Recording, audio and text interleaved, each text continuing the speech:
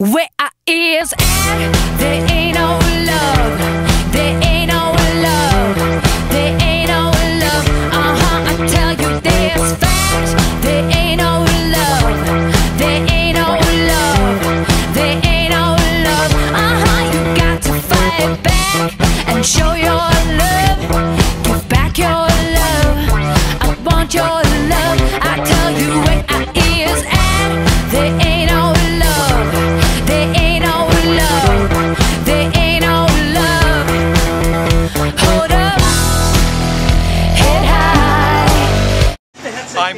Chattman of the Huffington Post. You're watching his channel, and I have to say, for John and for me, thank God we're guys because it's so easy for us to at least look presentable. You're the favorite going in here tonight.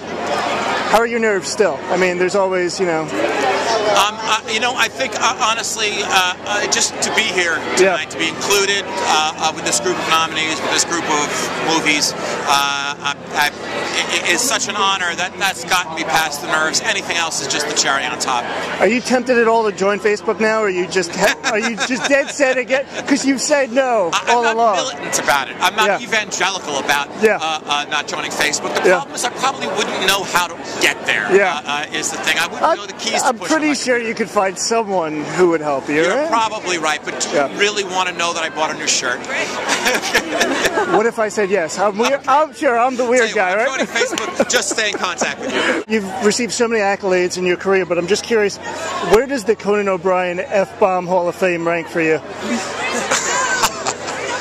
That is basically the most amazing recognition I ever had. Yeah. And you have to work hard for that. And Yeah. you know what? I'm very I'm close to Kevin Spacey, which is It's not true. a joke. All right. Say hi tonight, to man. Talk to me a little bit about standing on the red carpet of the Oscars for a very, you know, a little film that it kind of just was a freight train that just kept going. But it, I mean, Yes. what are you guys thinking right now? I mean, besides the fact that I just asked you a question everyone else has. What are we doing here? Uh, you know, I know. I mean, what we think is we, we, we think all weekend we've been together. We've had a reunion with other members of our cast and crew. We've been thinking about our next project. How we how can we deliver another uh, love letter to the people that did support this film? You know, Right. the cinema goers that like this film. We'd like to make more. Right? You know, we, we, we somehow found an audience through Roadside's incredible work, and we'd love to keep bringing the sugar home to that audience. Right. You know, anything, any story that we could tell that would delight them, Right. fulfill us in this world. In this world. Now, now it's such a dark and kind of you know very deep movie. I mean, do you do you have like a urge to do a light comedy, you know, or maybe resurrect the career of Pauly Shore? I don't know. No, we don't have that. Don't do that, by the way. But- Please but- don't but do comedy, that. Comedy, my God, comedy, that is the other side of, of, of surviving difficult things, right? It's, Right. it's using humor as your ultimate armor, Right. you know, against the things that are the vagaries of life, the things that.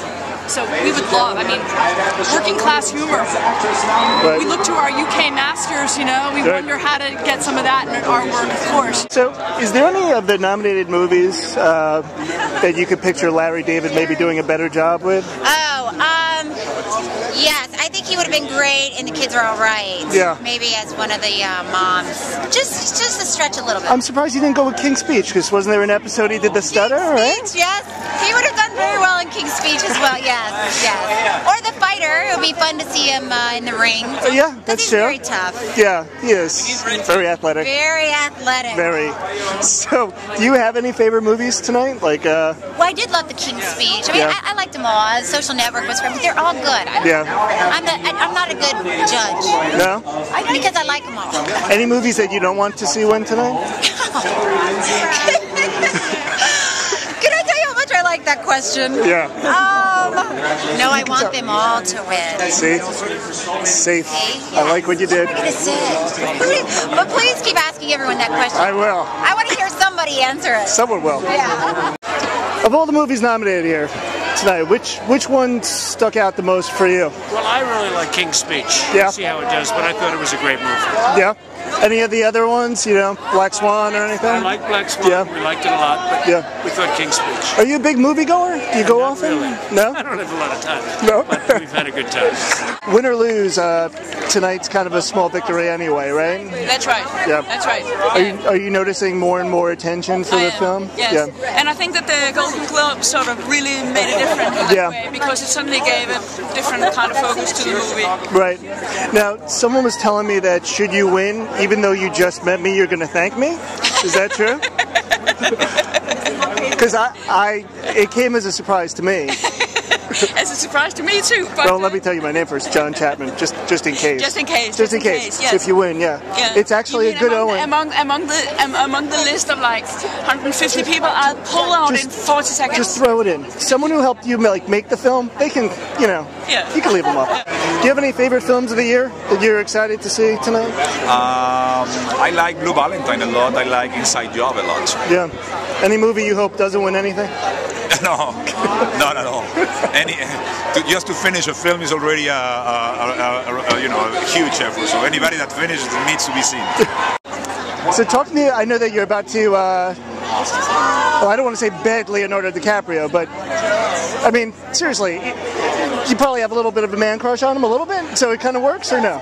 I gotta say, it's hard to spend it's, it's hard to spend as much time as I do with that guy and not develop a man crush. on him. He's Yeah, an incredible dude. He's a good-looking guy, He- but so are like you. So I'm wondering. He works hard. He's awesome. Yeah, I'm wondering if he thinks the same thing. Like, oh, this is a pretty good-looking guy, because it could be worse. Like, he could be, I don't know, stuck with like Pauly Shore or something. Oh, right? yeah. oh yeah, that would definitely be Right? worse. Yeah, Andy Dick or something like Andy that. yeah. Dick. Oh, and he's annoying too. Yeah. But anyway, so talk to me. This is your first Oscars, right? Yeah. So is it everything so far that you thought it would be, or you couldn't even dream it up at this I, point? I mean, I'm so new to this whole experience. I Yeah. don't even have expectations. I didn't have Yeah. dreams coming in. I'm just like, this is a mystery to me, but it's, it's turned out to be pretty damn all right. I gotta say. Yeah. Now, do you think that you know how the nature of the movie business is that there's there's a lot of repetition? So, do you think we can expect like a Friendster movie and like a MySpace oh, movie? Oh, maybe, maybe, Yeah? yeah, maybe. I don't know. I wouldn't bet on it though. I don't know. I don't- Classmates.com, maybe. I don't know. Yeah, yeah. Her- Heritage.com. Yeah, yeah. J- J-Date. Yeah, yeah. So like that.